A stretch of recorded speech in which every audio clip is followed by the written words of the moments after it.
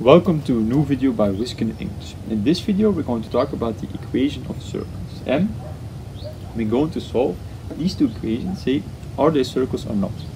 And if they are circles, you're going to find the center and the radius. Now, this is the standard equation, standard equation of a circle. So we're going to calculate this. So we get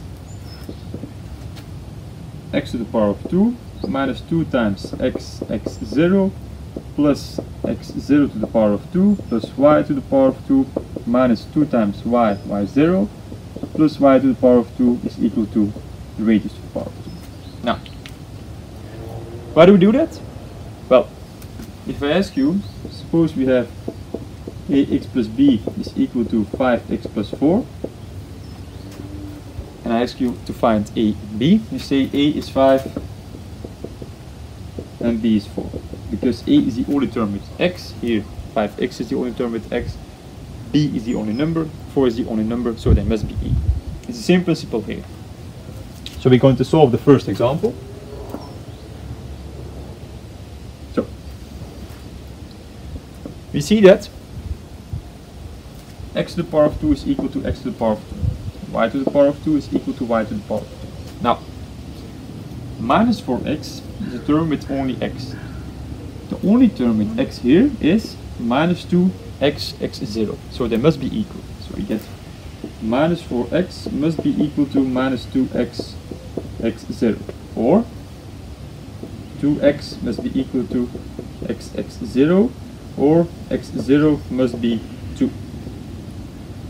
So we know that the x coordinate of our circle so the center of our circle, the first coordinate is 2. Second coordinate, the same principle, we get minus 2y, y0. We get minus 6y, so we have minus 6y this be equal to minus 2y, y0. Divide by minus 2, we get 3y is equal to y, y0, or 3 is equal to y0.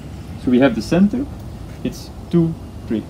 Now, does the radius exist? Because you can always find a center, but we have to have a positive radius. Now, the only thing that remains is, minus 12. But what is a number here is x0 to the power of 2, y0 to the power of 2, and uh, radius to the power of 2. So you see minus 12 is on the right side of the equation. So all these numbers must be on the right side of the equation. So we get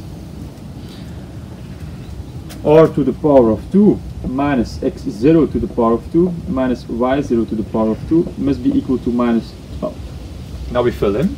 So why did we start with the x0 and the y0? Because this is an equation with three, three variables. But we already know, know two variables, so we can fill them in.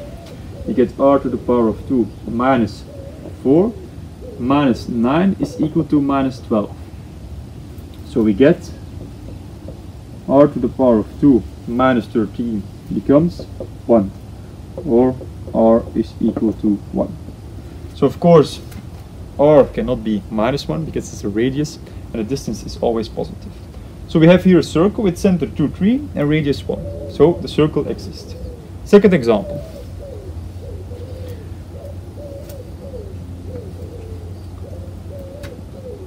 So we can remove this this, this,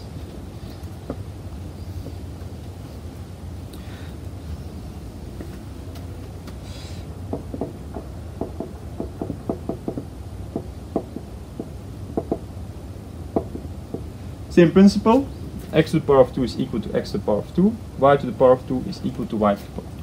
Now suppose we have 4x to the power of 2, 4 and y to the power of 2. Then you need to divide both sides of the equations by 4, because you need x to the power of 2, y to the power of 2. In our example, it's just x to the power of 2, y to the power of 2, so we don't need to divide anything. Okay, same principle, this is the only term with x, so it must be equal to this. So we get minus 2x is equal to minus 2x x0, or x0 is equal to 1. Same principle here, minus 2y, y0 is equal to minus 2y, or y0 is equal to 1.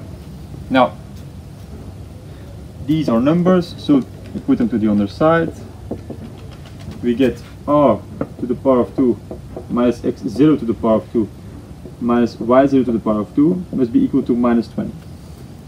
So we get r to the power of 2 minus 1 minus 1 must be equal to minus 20.